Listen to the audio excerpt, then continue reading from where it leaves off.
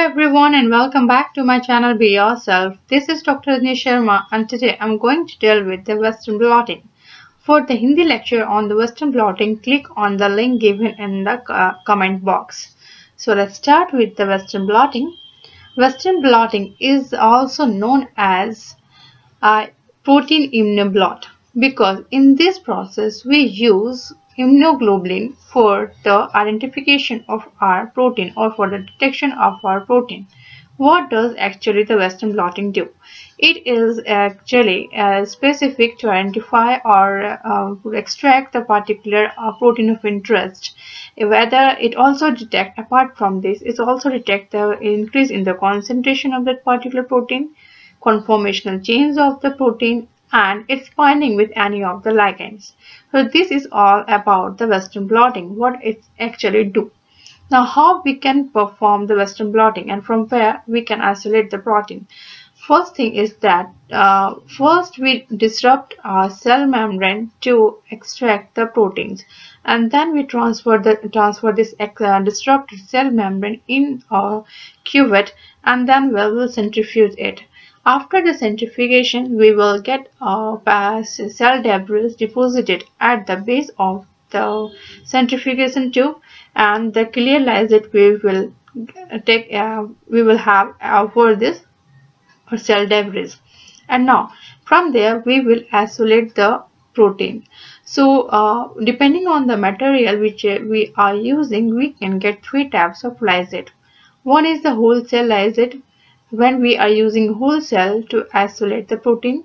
Second is the nuclear it when we will use only the nucleus to isolate the or we to isolate the protein or we can say when we want only the nuclear protein for our study.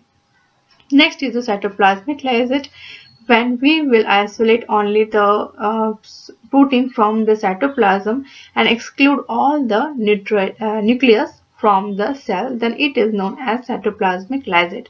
Now after centrifugations of the cell debris we will have a clear uh, lysate and from there we will pipette it out with the help of pipette and transfer it to the SDS-PAGE. STS base is the sodium dodecyl sulfate base polyacrylamide gel electrophoresis. Uh, in this we will first transfer the proteins or the lysate uh, containing the protein on this well having the SDS-PAGE. So in SDS-PAGE what we actually do? In SDS-PAGE we isolate the protein on the basis of their molecular masses. So what actually happen in the SDS-PAGE? In SDS-PAGE uh, it's, it is actually the polymer having the very fine uh, linkages in between its molecules. So it provides a very mesh-like structure through which the protein has to cross. So the protein which having the uh, more molecular mass will feel difficulty to uh, to cross this polymer's uh, holes and say, since it will travel less distance while the protein molecules having the lesser mass can easily cross or can penetrate this polymers and can travel the, the more distance. So these are the bands which we can uh, uh, have in our SDS-PAGE after running through the it's through current. So uh, this band can arrange itself according to their mass. So we can say that this uh, molecular mass uh, protein bands will have the more mass as compared to the this uh, band of the protein because it has traveled less across the gel. This first line is all about the ladder one which uh, is used as the reference point to compare the molecular weight of the protein and because its uh, molecular weight is already known or we can say that we can use this as a reference one to find out the molecular weight of this particular bands. Now, then what we do, we have to isolate only those protein which we are, which is our protein of interest. So to do that, what we do, we will first transfer it to uh, this band of proteins on a nitrocellulose membrane. So we will then put a nitrocellulose membrane over the SDS base or this gel. Then we will again apply electricity across this. In this time uh, negative toward the gel and positive toward the nitrocellulose membrane.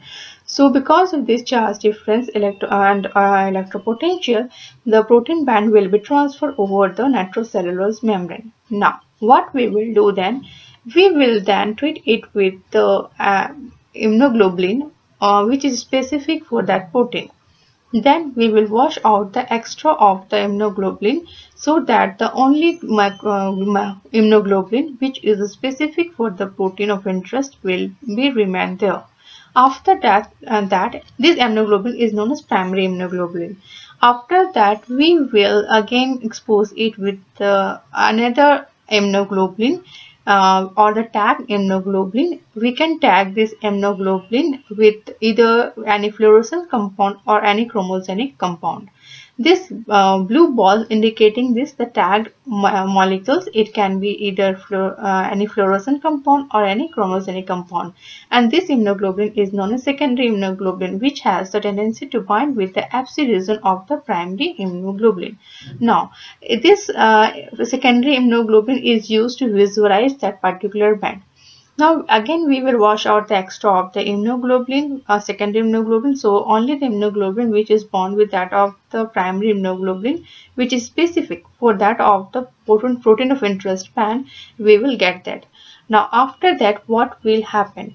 The uh, protein of interest which you got tagged or get uh, bonded with the immunoglobulin will uh, show color compound if that uh, will if that uh, secondary immunoglobulin is tagged with any chromosome and if uh, if we will tag it with any fluorescent compound then we will get the fluorescence of that particular protein band. And from that we can isolate that particular protein of interest from here. This is how a western blotting works.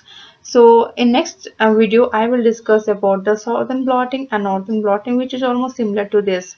Uh, actually i prepared this video because many of the students are requested to uh, prepare some techniques for uh, videos over the technique so i already have discussed FRAP this time western blotting and in my upcoming videos you will get the uh, northern and uh, western blot uh, uh, sorry southern blotting and also i will discuss about the mass electroscope uh, spectroscopy IR and NMR. So don't forget to subscribe and share my channel. Be yourself. Till then, goodbye and have a nice day. And for the Hindi videos, don't forget to click on the link in the description box.